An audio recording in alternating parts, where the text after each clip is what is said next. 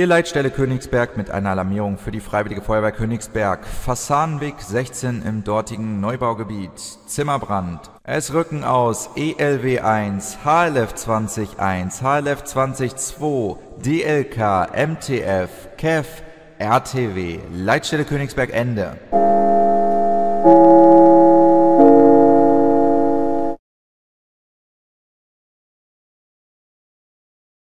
Jo Freunde, damit ein herzliches Willkommen zu einem neuen Feuerwehreinsatz hier im Landwirtschaftssimulator 17 auf der Baufieber-Außenstelle V3 Königsberg Edition. Ihr habt es gemerkt und auch gesehen, wir haben eine Alarmierung bekommen für einen Zimmerbrand und dementsprechend drücken wir jetzt einmal mit ein paar Fahrzeugen, die auch alarmiert wurden, hier aus. Zum Glück ist die Straße nicht so weit entfernt hier vom Gerätehaus. Dementsprechend sind wir da auch schnell da. Wir fahren jetzt dennoch einmal mit 1 ELW1 vor, um zu schauen, was dort los ist. So, wir müssen jetzt einmal, weil da hinten kommt eine Baustelle, hier vorne aus dem Kreisverkehr die erste Ausfahrt nehmen. Und hier nehmen wir die dritte Ausfahrt einmal. Dieser Userwunsch ist ein etwas abgewandelter Userwunsch, sage ich mal. Ich habe ähm, gelesen, dass ein Zimmerbrand sich gewünscht wurde. Äh, Zimmerbrand sage ich schon, ein Kellerbrand. Aber ich dachte mir, okay, das ähm, mit dem Keller dauert noch ein bisschen. Aber dann gibt es heute einen Zimmerbrand. So, hier haben wir ein Gebäude stehen, was momentan noch, ja, verkauft werden soll, beziehungsweise die ähm, Eigentumswohnungen da drin sollen verkauft werden, dementsprechend sind die leer. Aber wegen ungeklärter Ursache ist hier ein Zimmerbrand entfacht worden, wie ihr sehen könnt. Und das gucken wir uns gleich einmal an.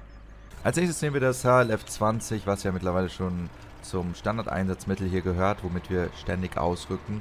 Es wird ja auch äh, in den meisten Fällen benötigt, um zu schauen, was ist vor Ort und ähm, das Schöne ist halt, es hat einen Schnellangriff und es hat eigentlich alles, was man auf einem HLF 20 halt braucht. So, was ist mit dir, Kollege? Ja, man merkt schon, er will wegfahren. Komm, komm mal hier an die Seite.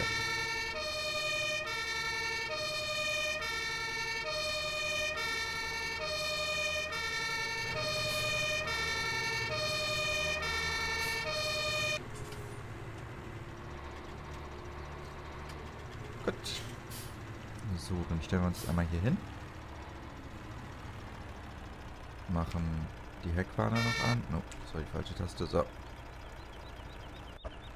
Und können theoretisch schon mal mit dem Angriffstrupp ins Haus gehen und ja, versuchen den Brandherd schon mal zu lokalisieren und dann letztendlich die Flammen zu löschen.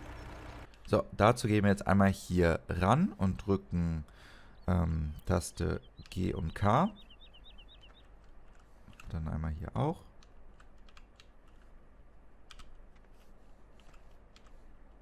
So. Das passt. Und dann machen wir das auf der anderen Seite auch noch und holen unseren Schnellangriff mal eben raus. Während die Kollegen vom Wassertrupp und Schlauchtrupp sich hier um den Rest kümmern. So, okay. Ich hoffe, dass wir soweit da reinkommen dass der Schlauch lang genug ist. So. Open Door. Sieht ja lustig aus. Okay. Ups, so kommen wir jetzt hier nicht rein. Hallo. Ah, jetzt geht's.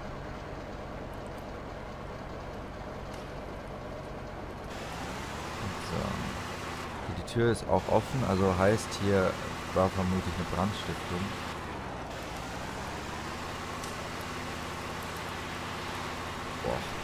Ziemlich heiß da drin.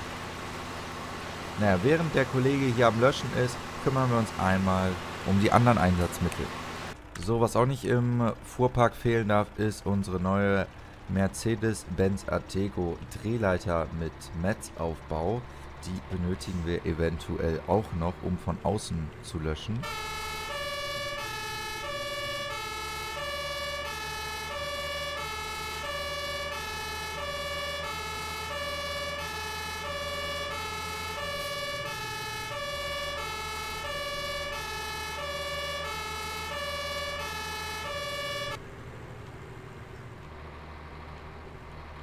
Okay. Und dann fahren wir auch einmal hier rein und stellen uns dementsprechend dahin. Ich muss mal kurz überlegen. Ähm, ja gut, wir fahren hier einmal rein. Weil sonst hätte ich auch die nächste reinfahren können, aber da steht ja der ELW ein bisschen an der Seite. So, glücklicherweise stehen jetzt auch keine Autos hier, dementsprechend können wir hier unsere Drehleiter positionieren. Dann auch einen Außenangriff starten. Okay. Wir öffnen einmal alles. Keypad 8. Dann Keypad 6 zum Ausfahren. Passt das hier? Ja, wartet mal. Wir gehen nochmal kurz in die Drehleiter, aber sonst hat die gleich so eine Schräglage und das wäre nicht so optimal. Und dann kann die leichter umkippen und das wollen wir natürlich nicht. So ist es okay. Und jetzt hier Keypad 5, um die Stützen runterzufahren. So. Dann nehmen wir die Drehleiter einfach mal. Drehen sie zur Seite.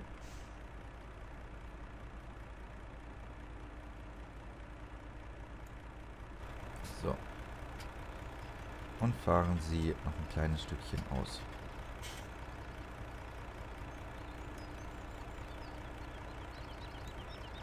Gut, perfekt.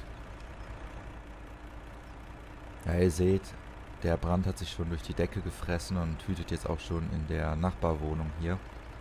Ja, da muss man natürlich gucken, dass wir das jetzt auch weiter bekämpfen. Okay, wir holen noch weitere Einsatzmittel. So, als weiteres Fahrzeug nehmen wir einmal den MAN Varus.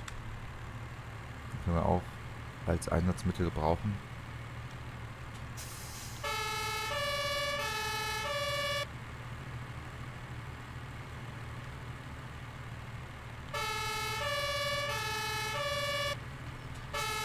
Ja, Kollege. Und jetzt? Ach, jetzt muss ich noch Platz machen. Ja, fahr mit deinem Außenspiegel erstmal eine Macke ins Auto. Du bist ja lustig.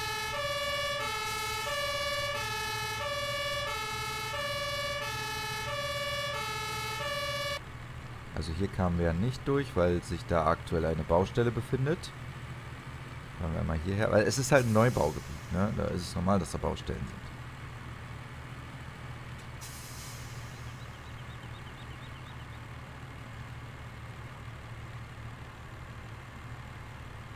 Okay.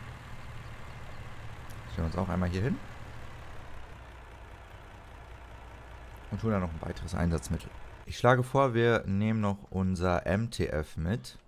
Hier von der Feuerwehr Königsberg, welches ihr euch auch auf baustellenmods.de herunterladen könnt. So.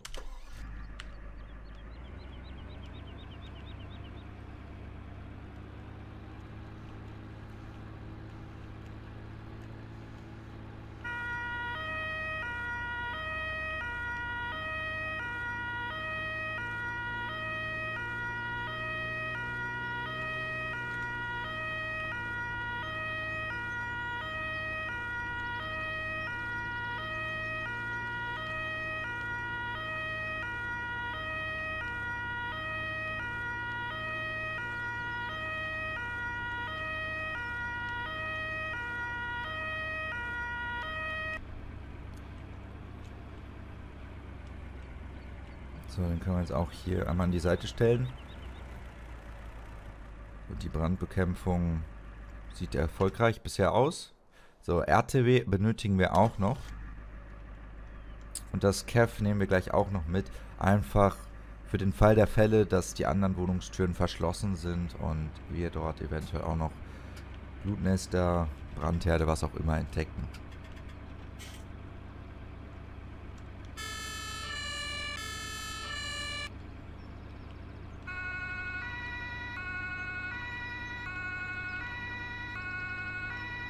Einfach für den Fall der Fälle, dass...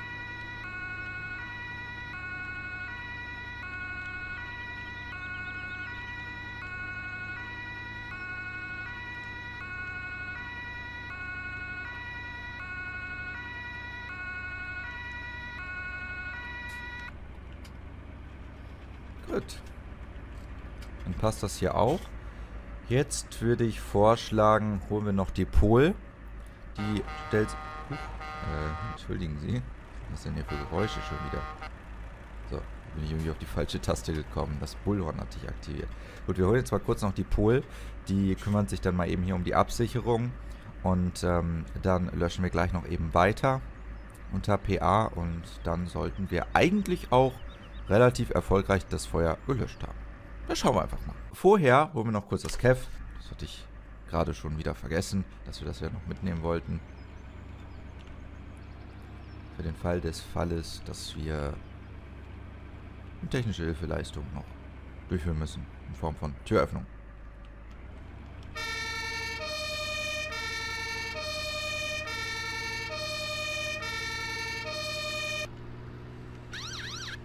Das sollte ein Kev normalerweise nicht haben. Okay, wir haben insgesamt drei Martinshörner. Beziehungsweise drei Hörner. Jetzt kriege ich wieder einen drauf, weil ich das Ehorn Martinshorn genannt habe.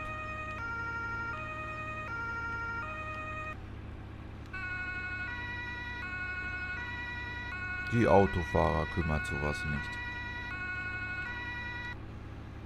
So, wir fahren jetzt einmal hier geradeaus. Biegen dann hier einmal ab.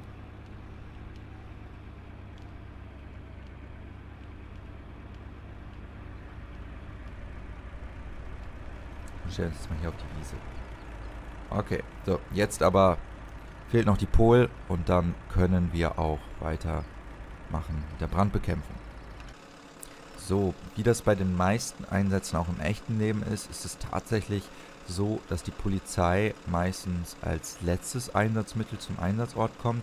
Das liegt hauptsächlich daran, dass äh, insbesondere in ländlichen Gebieten die Polizei nicht im Dorf stationiert ist, sondern ja eher in der Kleinstadt nebenan. Und deswegen müssen die Polizisten ja auch erstmal, wenn sie die Mitteilung bekommen, okay, ihr habt hier einen Brandeinsatz, fahrt da mal bitte hin, müssen ja erstmal von der Kleinstadt in dieses Dorf kommen. Und wenn dieses Dorf 15 Kilometer entfernt ist, aber noch zu der kleinen Stadt gehört, oder sagen wir mal 10 Kilometer ist realistischer, dann brauchen die ja dementsprechend länger. Bei der Freiwilligen Feuerwehr ist es dann so, die kriegen eine Alarmierung. Ich weiß nicht, wie das bei euch ist. Also bei mir im Dorf wird immer noch mit Sirene alarmiert. Und halt auch per Meldeempfänger. Und als erstes gehen die Meldeempfänger und dann selbstverständlich die Sirene. Und die mit dem Meldeempfänger, die kriegen den Alarm natürlich ein kleines bisschen vorher natürlich schon mit, können sich dann dementsprechend schon auf den Weg machen zum Gerätehaus und ähm, wenn man sich dann umzieht und alles, drei Minuten, bis das erste Fahrzeug dann ausrücken kann, ist wirklich eine sportliche Zeit und ähm, ja, dann kann halt auch mit der Einsatzbekämpfung, sage ich mal, begonnen werden, wenn die Feuerwehr dann so schnell da ist.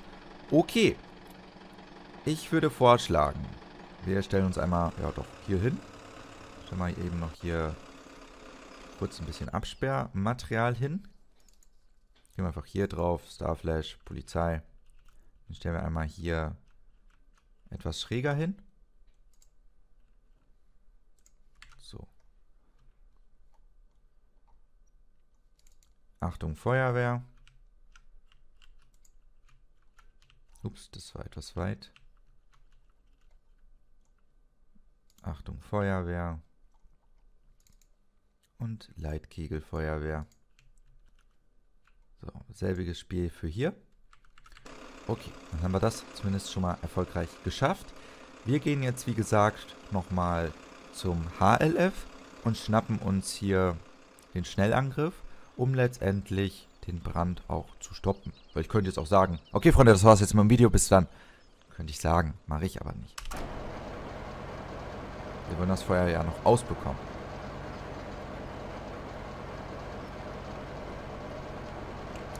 immer an der Tür hier festbacke. Muss ich mal nach.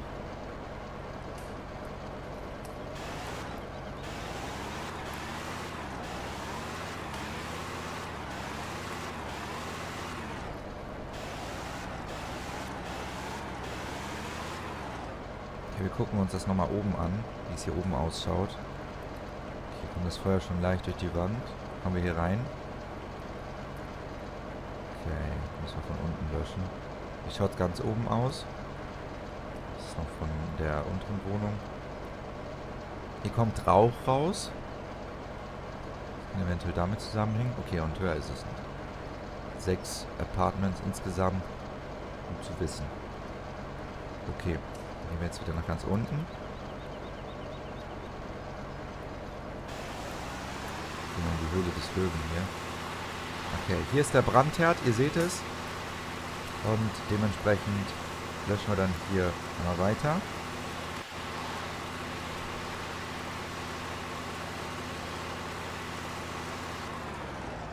Prima. Wir haben es tatsächlich geschafft, den Brand hier in der Eigentumswohnung zu löschen. Gut, man könnte jetzt sagen, fürs nächste Mal kann man diese Wohnungen noch ein bisschen verschönern. Wenn dann auch jemand hier mal einziehen sollte, nach der Sanierung selbstverständlich. Das kann man alles machen. Zum Beispiel ein Wohnzimmer hinmacht, hier ein Schlafzimmer, hier und hier ein Klo und Küche. Das ist eine Mehrzimmerwohnung. Hat aber viele Zimmer hier. So. Hier ist übrigens ein Fenster drin, auch wenn es nicht aussieht wie ein Fenster. Muss ich die Textur noch mal ein bisschen bearbeiten. So, lassen wir mal wieder hier raus.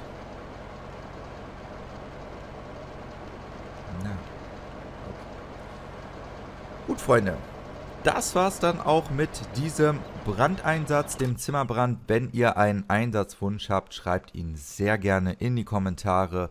Und wenn euch dann ein, einer dieser Kommentare gefällt, dann könnt ihr dem Kommentar auch einen Daumen nach oben da lassen, so wie beim letzten Mal. Und dann sehe ich ja, auf welche Einsätze ihr unter anderem Bock habt. In diesem Sinne, wenn ihr mich noch nicht abonniert habt, würde ich mich über ein Abo sehr freuen. Und dann sehen wir uns auch im morgigen 14 Uhr Video wieder. Bis dahin, euer Benny.